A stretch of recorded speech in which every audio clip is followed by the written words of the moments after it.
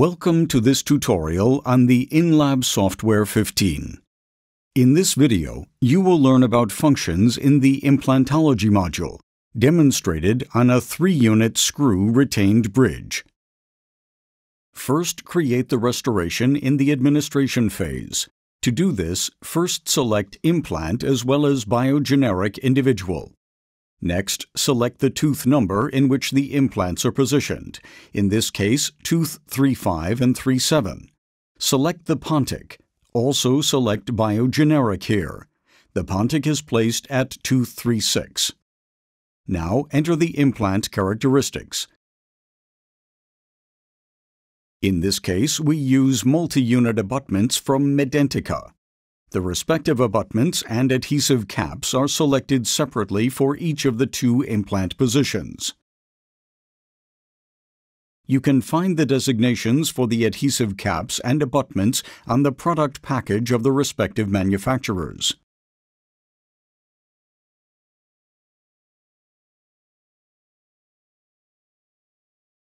In the next step, which scan body to use for recording the implant position is displayed. Only then is the machine selected. The bridge is to be produced in the lab. Select InLab MCX5 for this. The material to be used is zirconium oxide. Confirm all entries by clicking OK. You can now switch to the scan phase.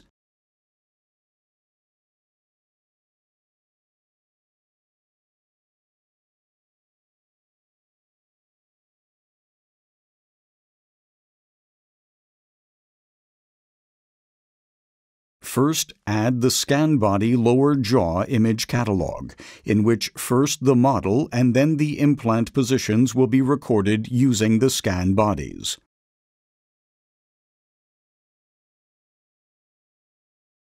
Begin recording with the overview scan. To do this, place the model without gingival masks with the front teeth facing the unit, pointing at the arm of the scanner, and start the scanning process.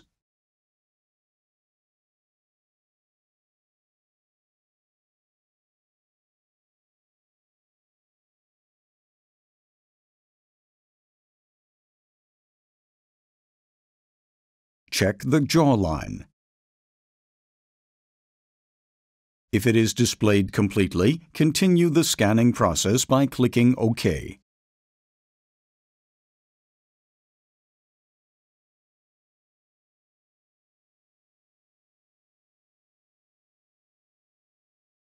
After all the images are scanned, you can check the model and, if necessary, double-click to add more images to close up any possible gaps in the scan.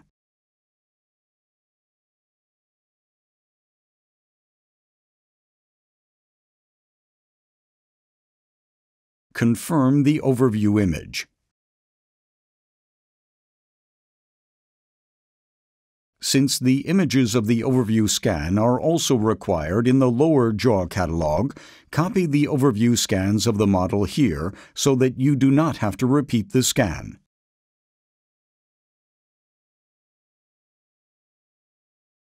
Next, the implant positions are scanned. To do this, the scanner moves to a loading position. Do not remove the model from the holder to insert it. Gloves must be worn to screw in the scan bodies. In this case, we begin with position 3-7. Now double-click in the implant axis on position 3-7 to start the scanning process for capturing the implant position.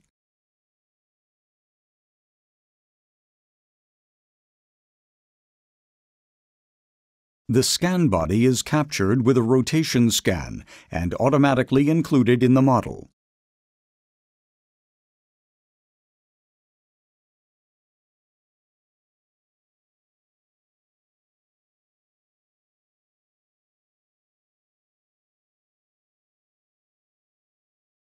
Now, take the scan body from position 3-7 and screw it on position 3-5. Important reminder, Scan bodies, including screwing or unscrewing them, may be handled only with gloves. The scanner moves into a special loading position for screwing or unscrewing. Please do not remove the model from the holder. Click on the implant axis once again, but this time on position 3-5, and record the second implant position.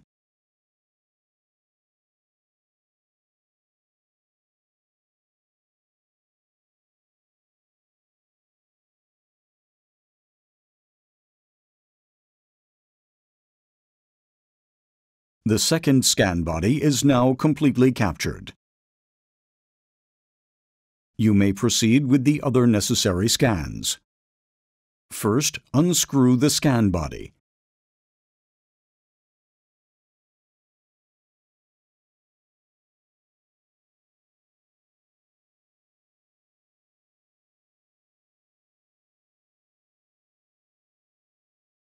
Click on the gingival mask lower jaw to scan the gingival mask.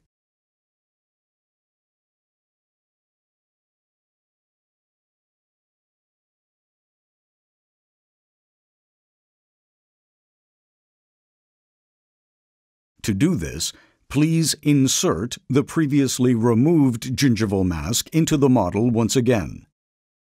First, an overview scan should be performed in reduced mode. To do this, click on Jaw Scan and Scan Reduced. After the scan for the gingival mask has been made, you can check it and add scans by double-clicking if necessary. Once this is done, you can begin scanning the opposing jaw. To do this, also select Jaw Scan and Scan Reduced.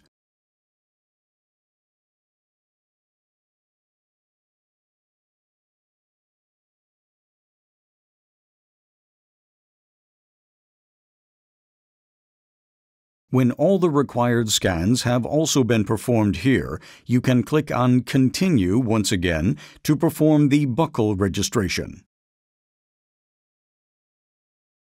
To do this, the models are positioned under the scanner in the articulator.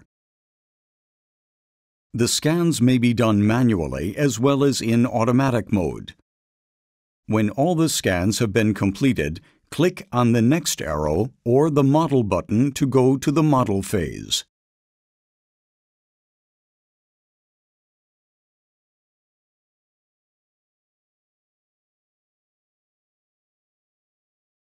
In the Edit Model step, you can check all the scans once again and edit them if there are areas that you would like to remove or revise.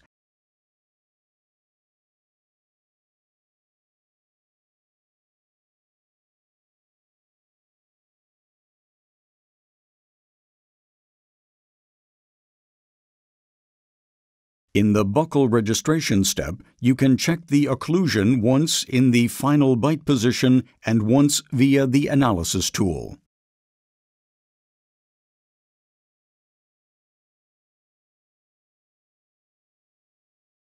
You can also check the contact point situation using contacts. In the Set Model Axis step, the models are first positioned on the template as in classic restorations. First, the center line is defined, followed by the occlusion plane by checking both side windows.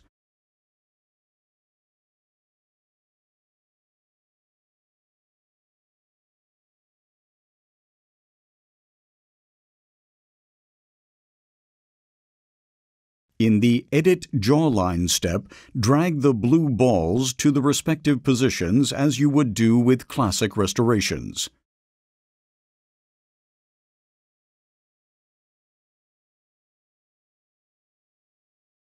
If the implant positions, which are displayed as tooth numbers here, are not yet in their exact actual implant positions, you can drag them with the mouse and drop them into the proper position. When this has been done correctly, the implant positions are subsequently automatically detected. In the Trim step, you can trim the model and remove excess areas if necessary. You can trim away areas that you want to show or hide for the design.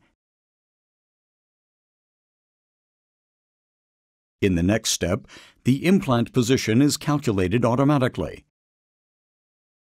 You can recognize this by the small purple ball on the scan body.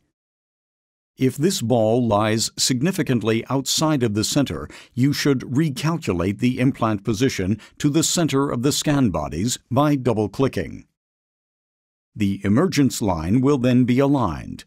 In this case, this starts with tooth 37.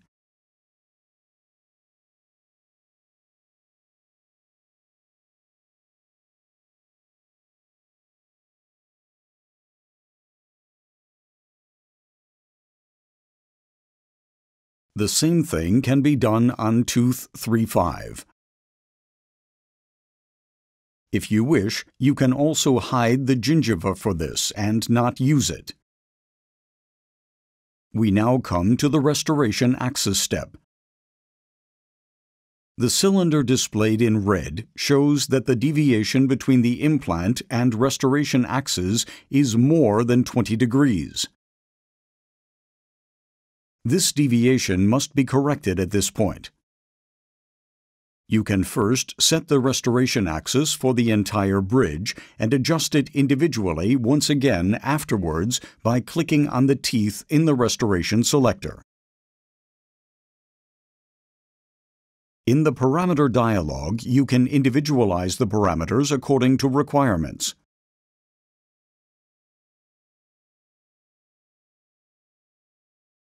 In the morphology step, different tooth shapes can be selected.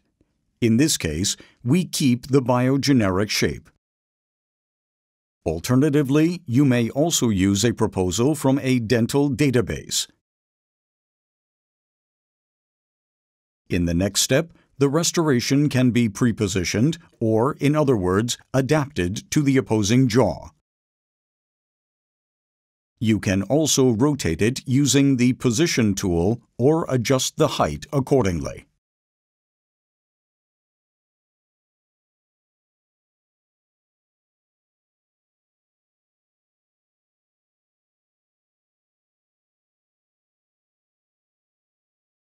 The opposing jaw can also be made semi-transparent or completely hidden. You can switch to the Scale tool by toggling the spacebar to scale all the teeth together or individually.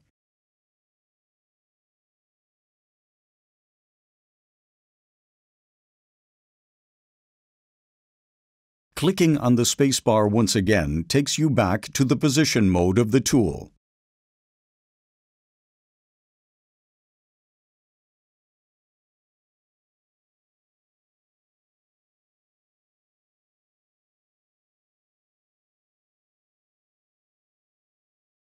You can show or hide the opposing jaw at any time to check the work.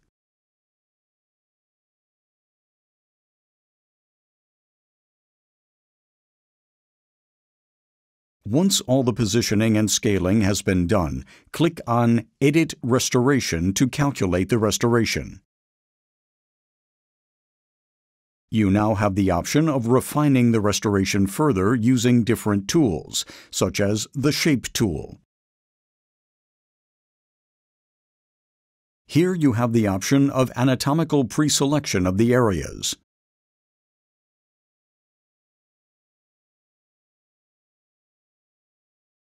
The color scheme for the approximal and occlusal points of contact can be shown to adjust it even without displaying the opposing jaw.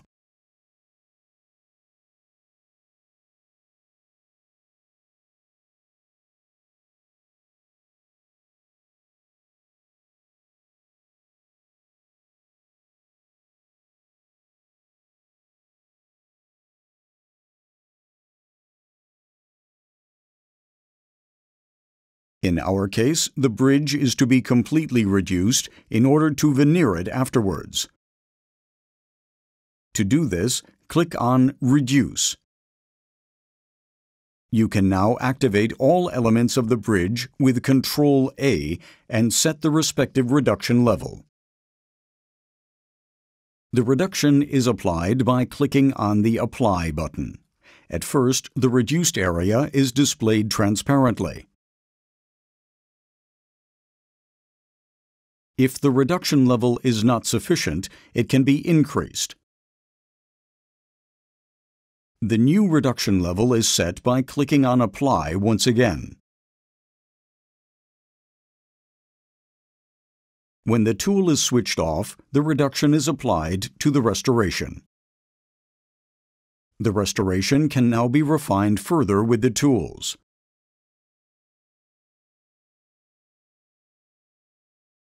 When all the work is completed, click on the Next arrow to go to the production preview.